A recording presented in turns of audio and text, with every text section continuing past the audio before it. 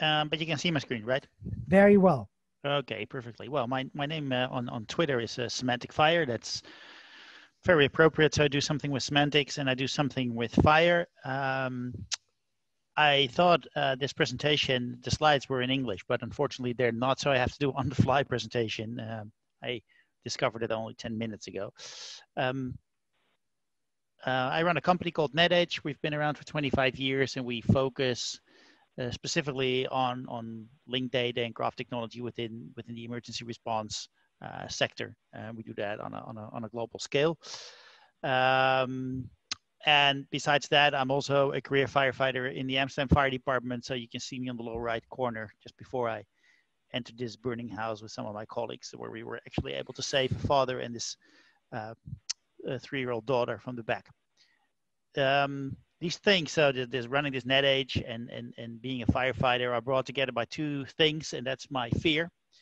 Um, I'm afraid that something will happen to me or either my colleagues or the people we serve, and that in the end we figure out that we had the information to prevent that from happening, but we were not able to get to it. So, information integration is uh, for the emergency services is our is our key uh, work field, and and we believe that semantic technology is is the only way uh, to solve that, knowledge graphs, etc. Um, so let's let's take this as example. Um, it's for a couple of years ago. Um, so at 7:09 in the morning, um, somebody calls the dispatch and says there's a fire in a in a garage. Uh, 24 seconds later, they tell, oh, the the the wall, the front the front of the of the garage came come fully outwards. Uh, and two seconds later, we get a, multiple calls. Uh, supposed to be a, a commercial property. Uh, the whole thing is on fire. Well, you can see in the background um, that's pretty accurate, probably.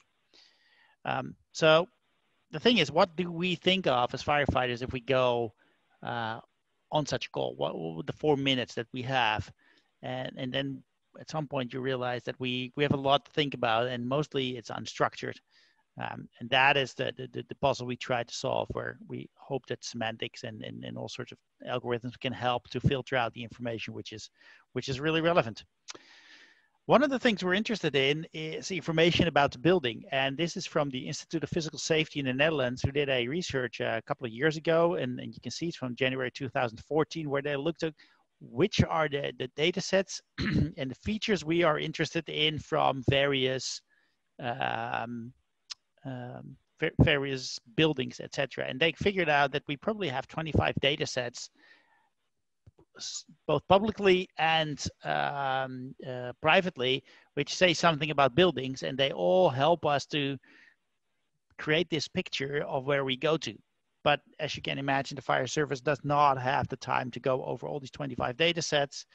And I always tell uh, people that it's socially not accepted that the fire service pulls up in front of a burning building and spends like another two minutes um, in uh, scrolling in their on their iPads in the in the fire truck.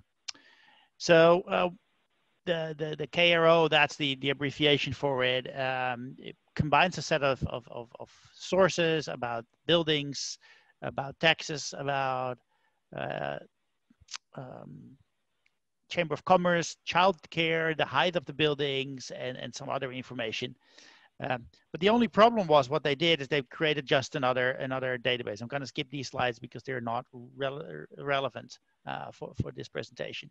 So here we see on the red dot is the actual location of where the, the, the fire was alerted. And what they did is they created this database which contains all the information from all the data sets.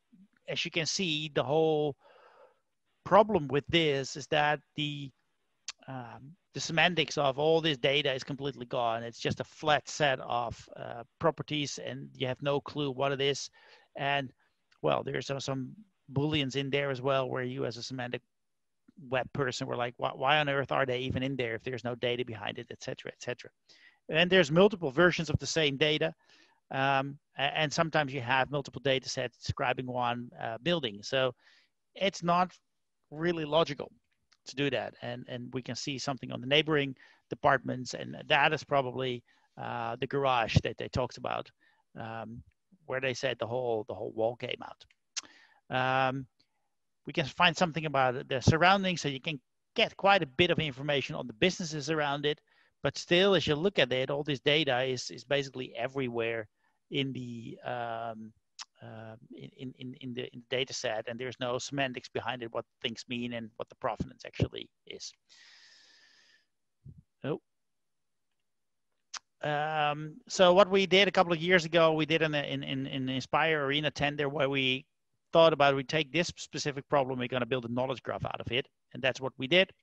Um, so an hour and 45 minutes later, in uh, there there came a, a recognition as okay, uh, the fire started at a certain location. Uh, there's been an explosion there. The others ones are not um, uh, affected, but because the chemicals in, in some of the other buildings, we, we need to know more about, and we want to see um, if we can prevent uh, escalation of this of this incident. And as you can see, it's it's a pretty decent incident. This is from across the canals in Amsterdam that you could actually see the fire burning. Um, and well, they were not joking when they said um, the whole facade came out because, as you can see, that clearly uh, that clearly did.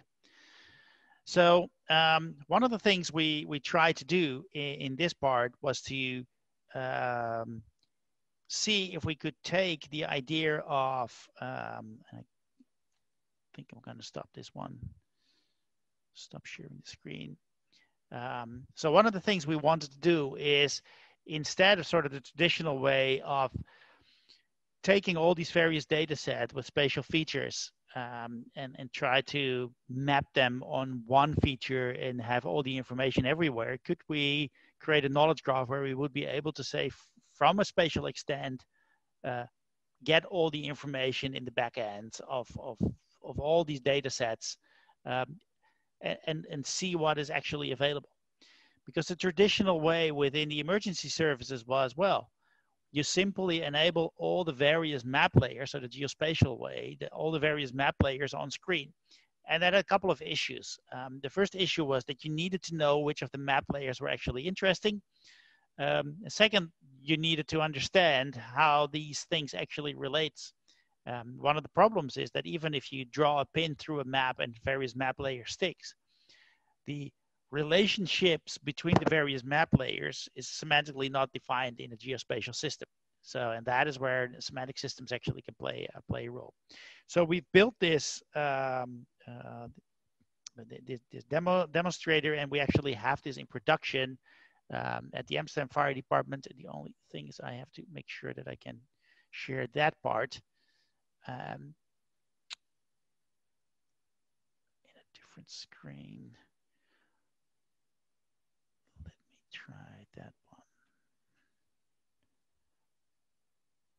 So can you see my screen now? Yes. Perfect.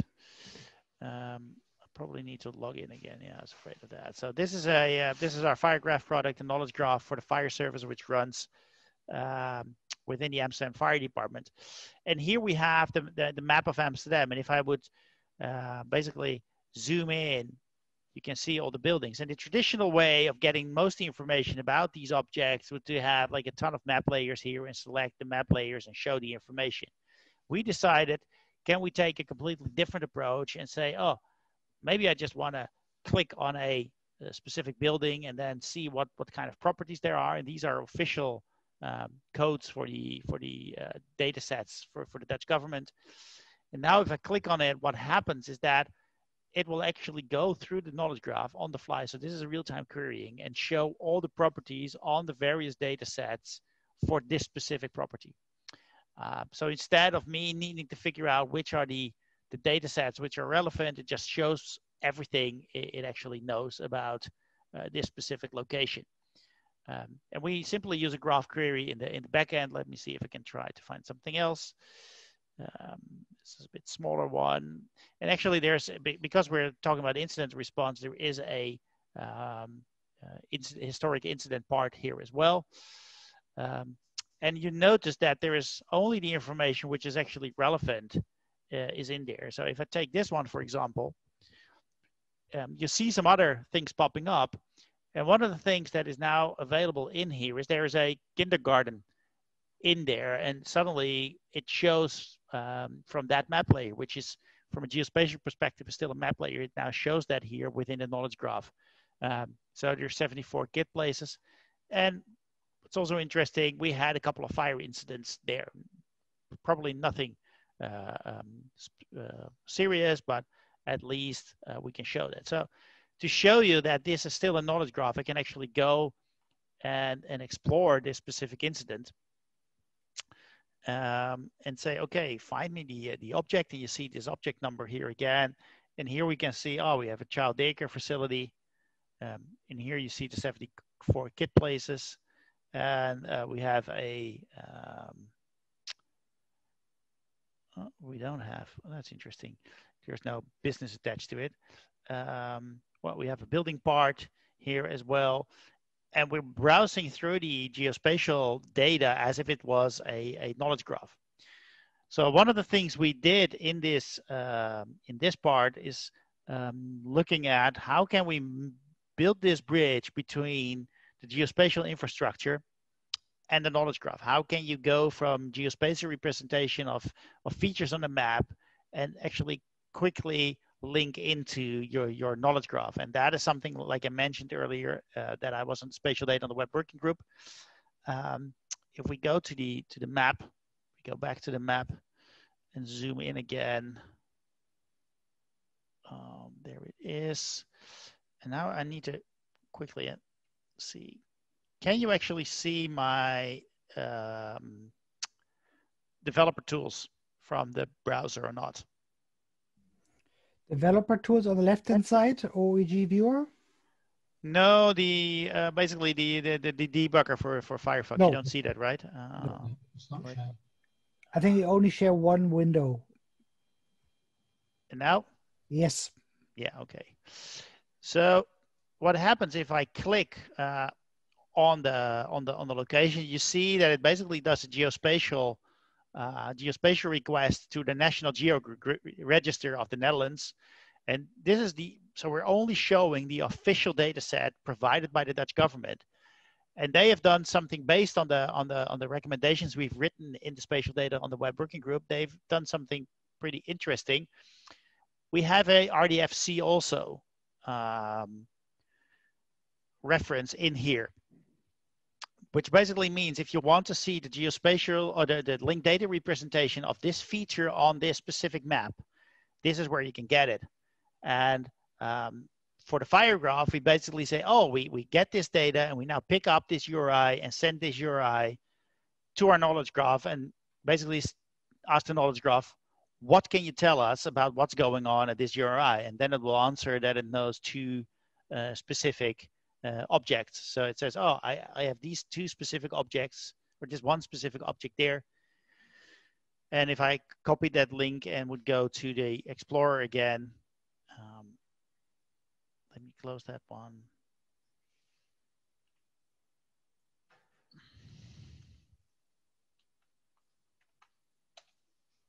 Nope, it's not capable of parsing. Uh, that's a demo effect here for you. Oh.